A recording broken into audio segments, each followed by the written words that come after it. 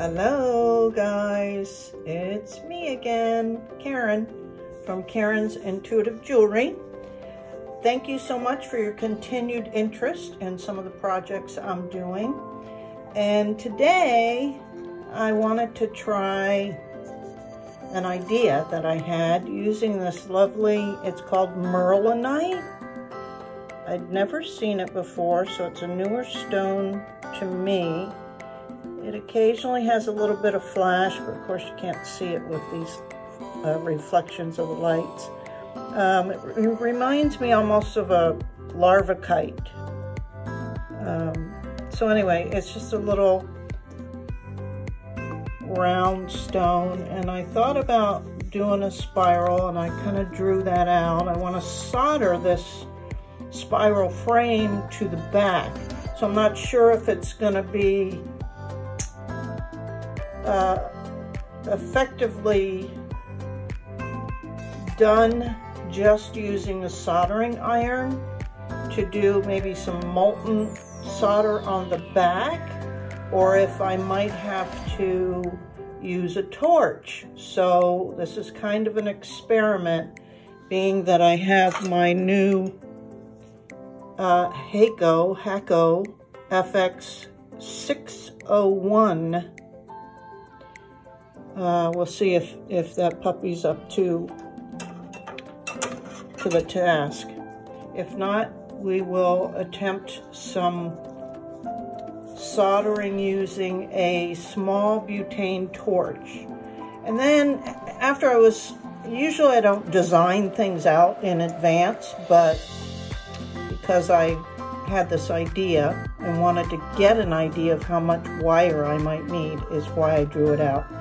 The other design that came to me was maybe doing a little bit smaller of a spiral and then taking some other smaller gauge wire and making like this scalloped effect to where maybe then I can put some small two or four millimeter beads on it around the frame. So I don't know, we'll see what happens. Um, I'll be using, of course, the Hakko Silvergleem some tinning wire. I have my little fan that I'll put on once I start working. I use this Oatey number five flux, as y'all know. My little brush. Um, the tools of my trade. um, copper tape.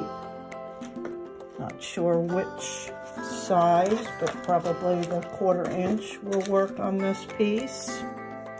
This is, I guess, an older Hobby Lobby brand. I know they make some other soldering stuff, including an iron, soldering iron, which I had recently purchased and returned. That's a whole nother thing. But anyway, uh, some tinned copper wire. This I got on wirejewelry.com. This is a 16 gauge and it'll be good and strong. I might give it a, also a, a light hammering for some added strength.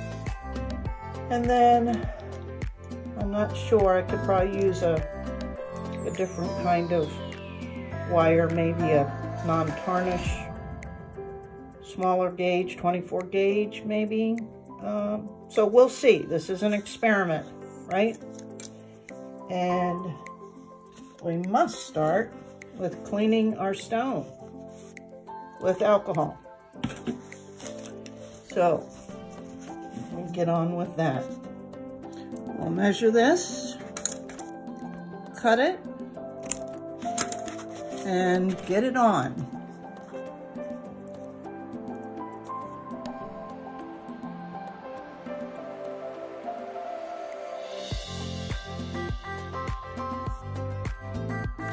and burnishing.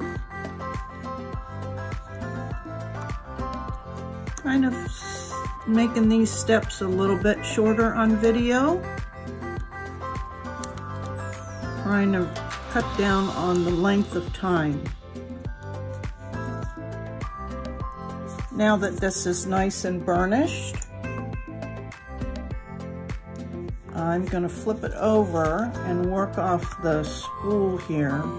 This is pretty springy because it's a pretty thick gauge.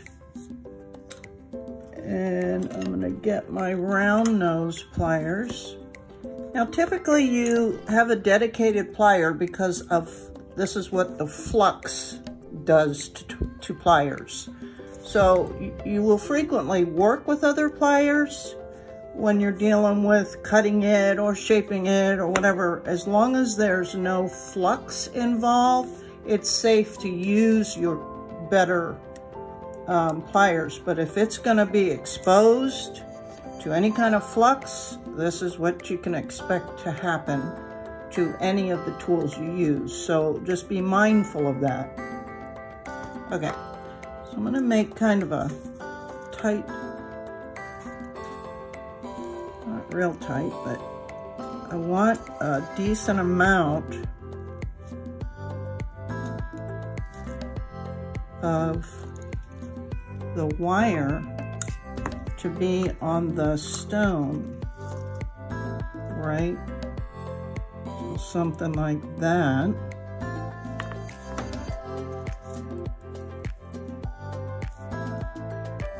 This takes a little practice. Maybe I'll use my other, these are six step bail making pliers. They can come in handy. Try and keep it round.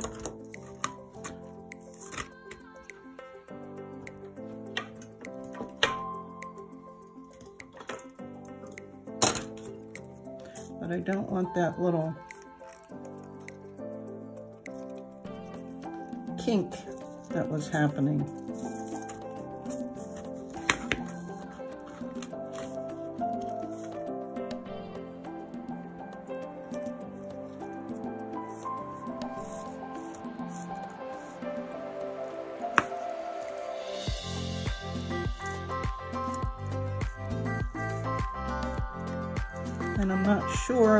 The width in between each spiral, so that'll be something I play with as I move along. So I'm gonna do some of this, because again, you just have to play with it, and I don't wanna take up all the time with you guys watching me finagle the wire. I imagine you can figure that out on your own. so I'm gonna do this and come back with what I've got. And I'm back. And this is what I got. I think it'll fit on here nicely. This ended up being about 17 inches long, believe it or not. It doesn't look like 17 inches worth of wire, but surprisingly it is. And I think I came pretty close to um, my drawing. So I'm happy with that. Now if I can execute the rest of it. So I need to make a bail. And let's see. Bend that up that way. I will be hammering this a little bit. And then making the bail. Let's see. I'll use my step bail making pliers. Bend this back on itself a little bit.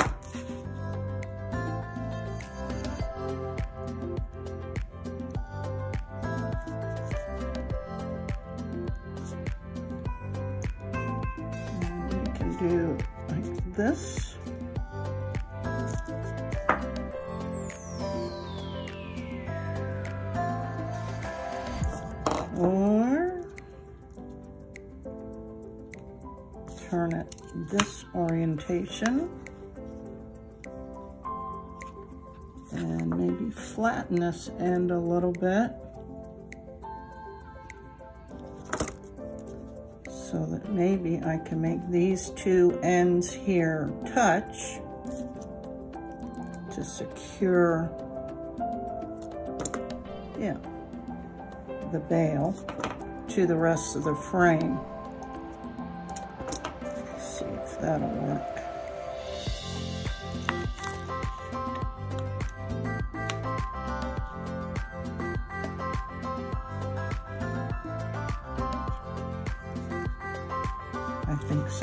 I'm sure I'm going to be having to adjust this frame as we move along.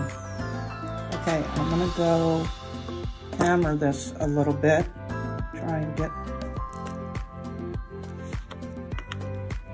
it a little bit flatter. That'll help too. And here we go. So I already fluxed this little piece and I'm going to start on the back. Got my iron set at about um,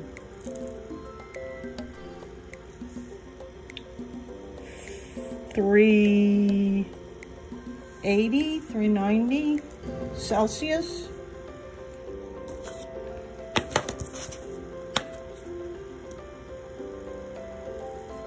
I'm just gonna get a nice little bead around the back.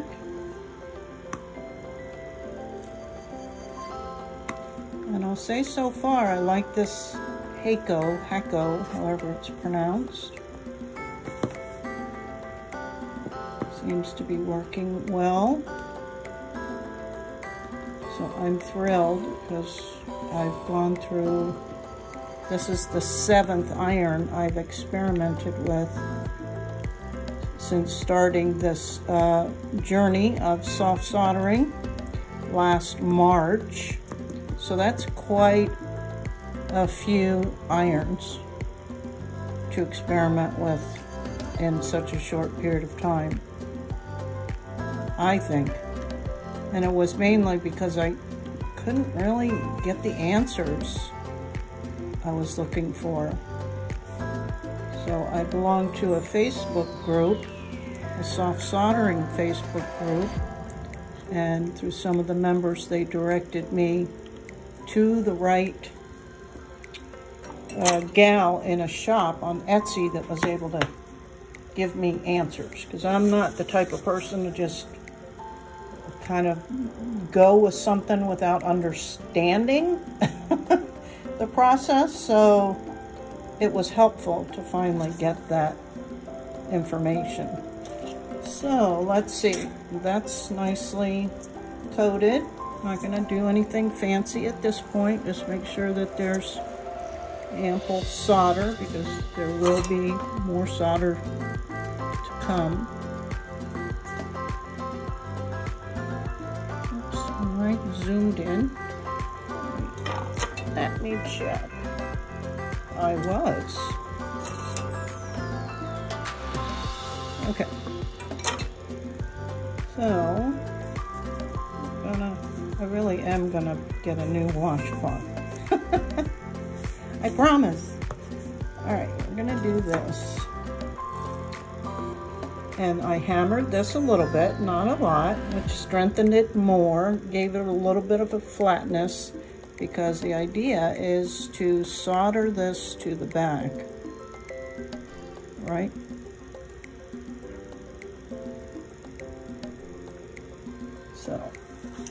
With that, I need to put some flux on this portion of the wire that will be coming in contact with the solder on the back of the stone.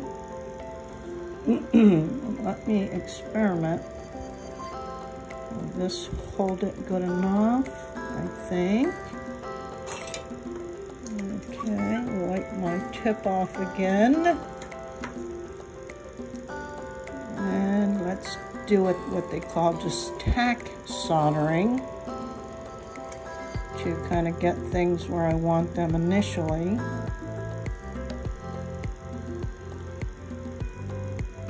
If I can.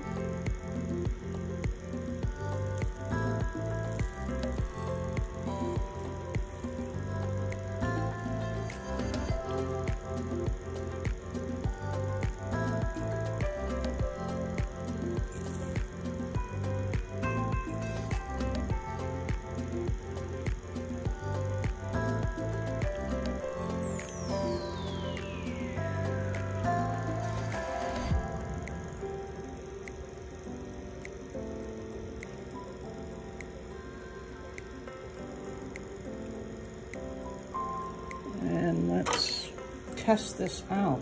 See if it's sticking. Yay. Okay.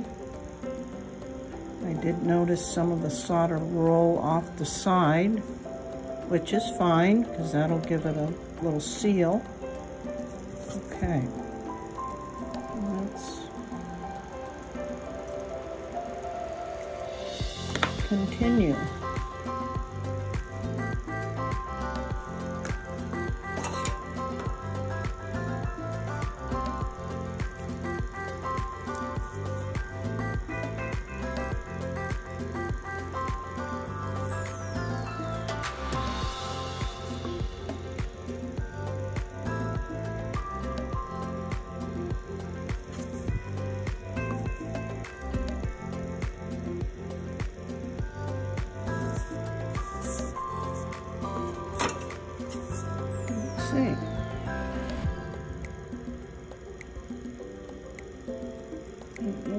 Good.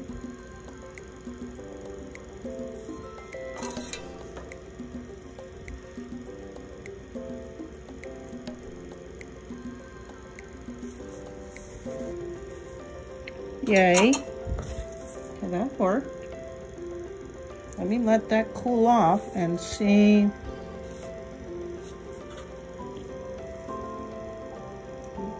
kind of want to tack this on here and connect these before I go and let things cool off. So let's do that.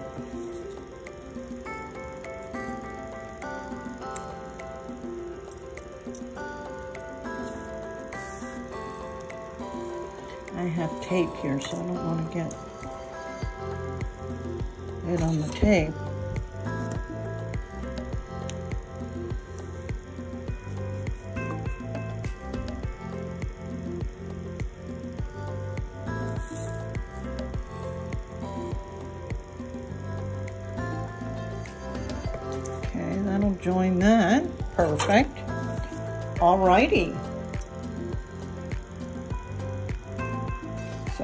That cool off, wash it up, see how sturdy everything is, and either reinforce it based on what my findings are, or continue with the decorative part of it, okay?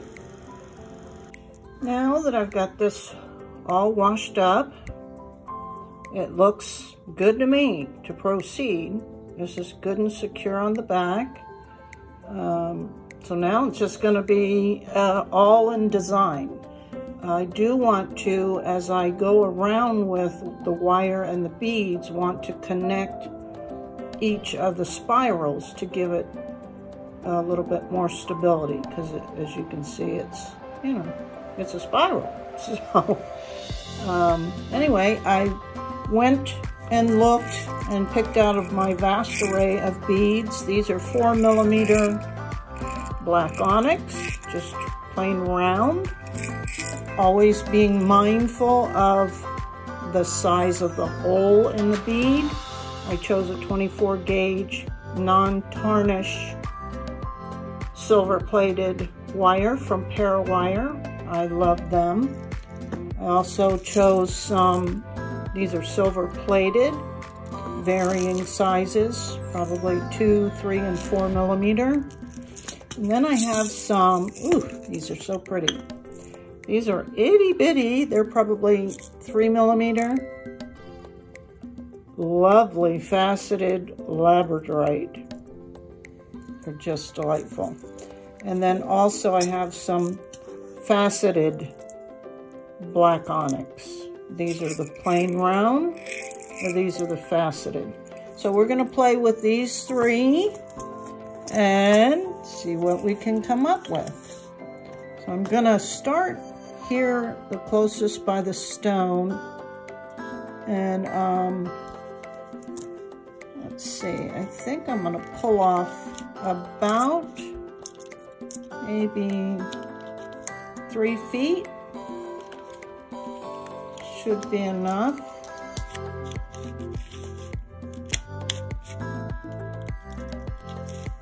Close to it. A, a span, you know, the arm's length, like you, not even that much, but hold your arms out in front of you and make a wide guesstimate, three feet.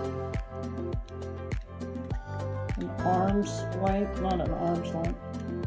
Yeah, kind of an arm's length from your your heart to the end of your fingers. That's about right. And for this, you'll need your favorite pliers, some flush cutters, and maybe even some nylon jaw in case I need to straighten the wire. And we're going to start. And I'm just going to continue with my designing so as not to take up too much time on this video. Um, and I'll come back.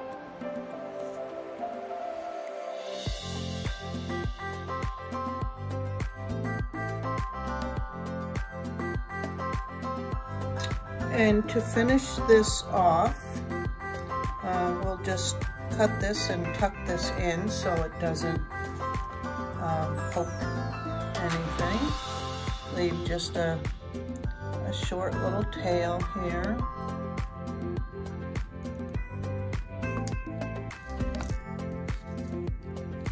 And then with your plier, you do kind of a pinch and a roll.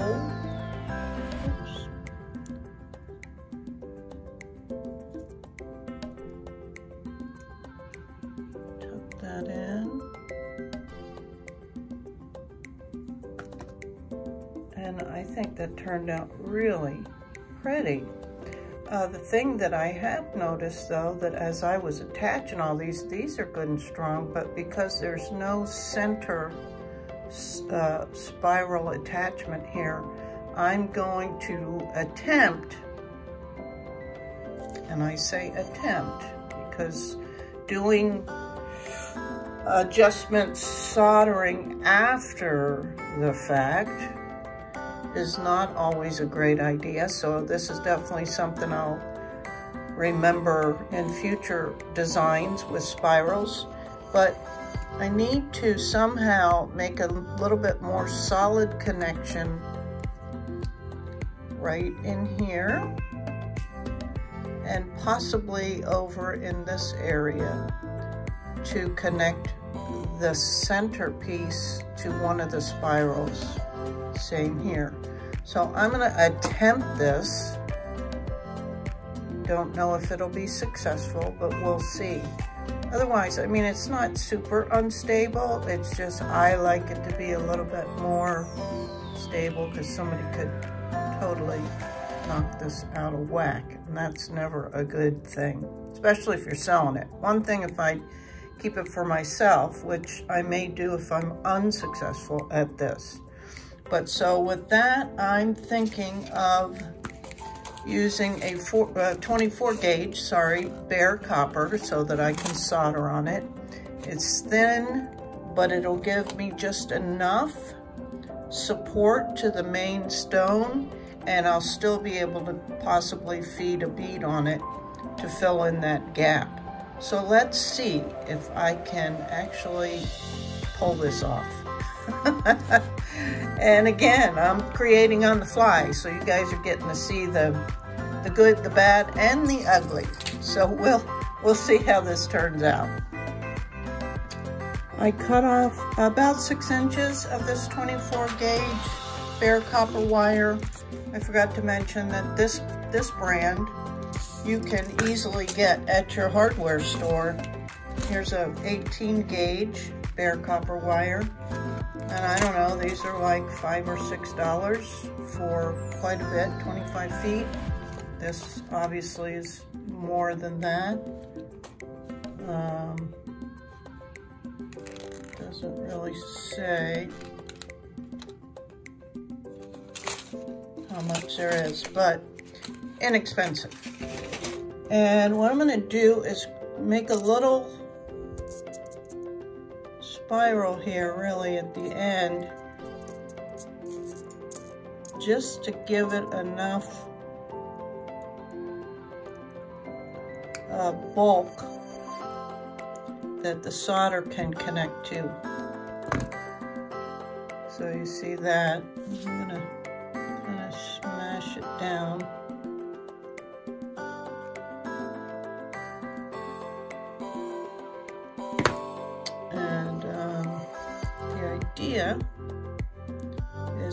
Solder it right in here, feed a bead on,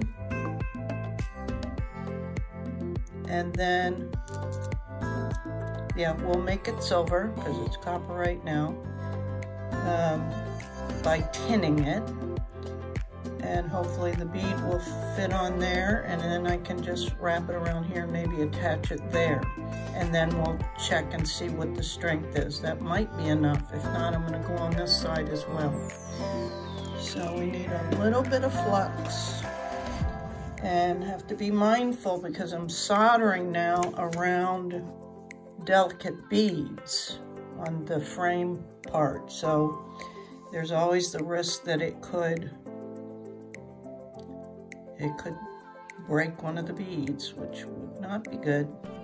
I'd be upset, but we're gonna give it a try. What the hay, right? So, I already cleaned my tip off.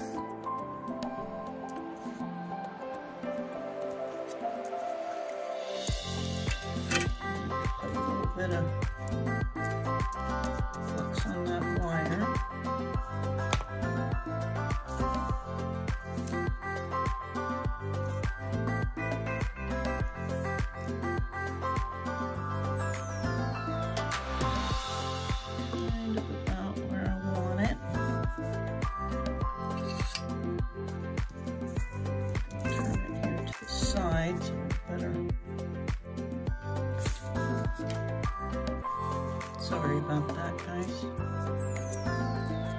Get situated.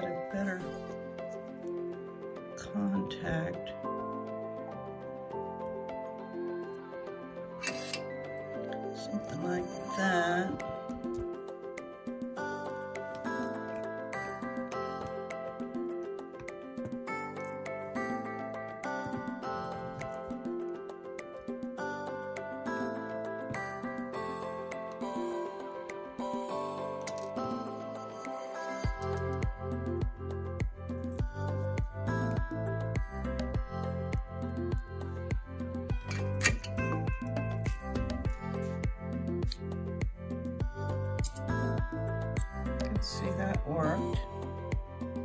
All right. Flip it over and see. Okay, that that's in the right position. Now I need to tin this.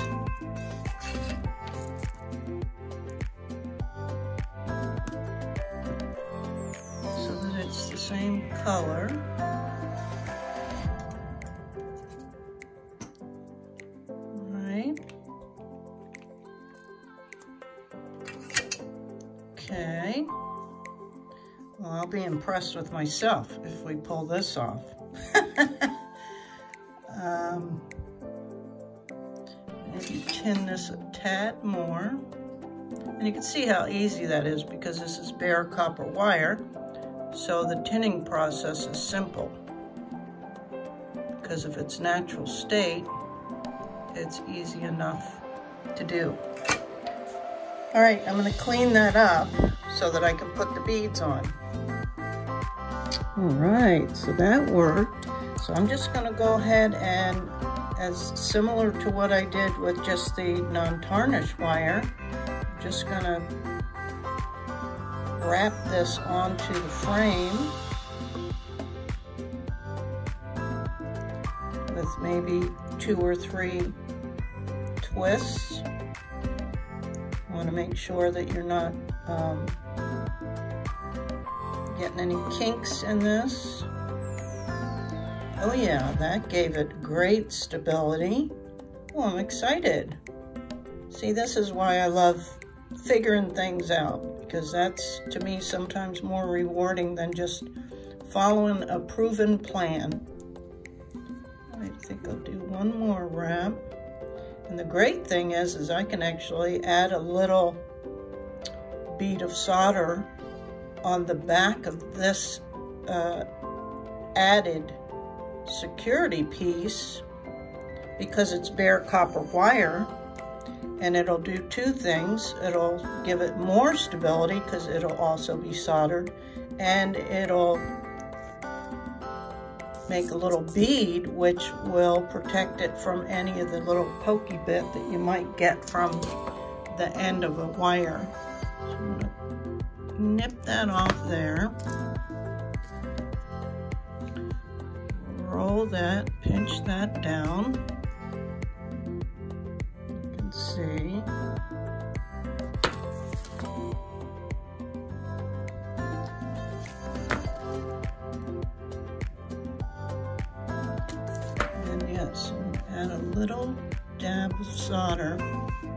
Which will be okay because I, I can get it far enough away from that black onyx bead and it'll be, you know, near the silver bead, which is metal, so it's not that big a deal. Clean my tip off. Get just the, the smallest, because this is called tack soldering, I think. That's too much. Doesn't show from the front, really.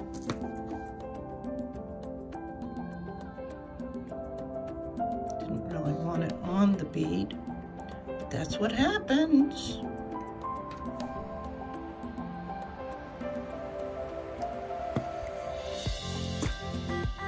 That's okay.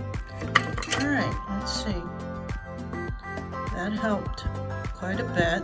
So I'm gonna go ahead and do that on this side here as well. And I'll be back. And here we go, guys. It worked perfectly fine on the other side as well. It's totally secured uh, my concerns about the frame being a little unstable. So, wow, I'm impressed. cool when you have ideas and uh, they work. So I really love this piece. It's kind of big. It's a nice statement piece. It'll be awesome on a black shirt, which I plan on wearing this today.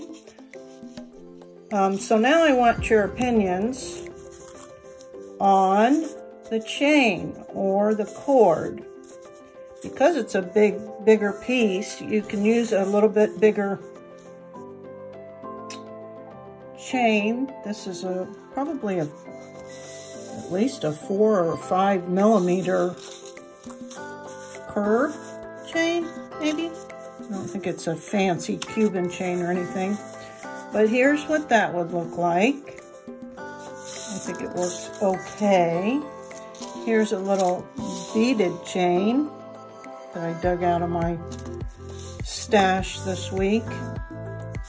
I think that looks pretty good as well. The beads maybe even reflect the beaded situation going on on the actual pendant. Or my old standby, which I always love and customers seem to love because it's just so versatile, the black cord. So what's your favorite? I'd love to hear from you what you think about what kind of cord we should use. I kind of lean always, seems like, to the black cord. Anyway, glad I could make this work because that was more work uh, into a piece than I normally do. Uh, but I really love it. I think I could have actually done without this row of silver beads even. But, you know, and next time I even thought about what would really be cool is to do another spiral frame, but next time I'm going to do the um, stamping with the molten solder. And so it'll be a, a really cool textured frame with the stone in the center. So be on the lookout for that. Okay, thanks so much, guys. I appreciate you watching. And please like and subscribe to my channel. I'm still building it up. I'm over 400 subscribers now, so I'm so excited. It's been just about mm, six weeks or so since I started my channel. And I appreciate you guys so much. Thanks again. Till next time. Bye.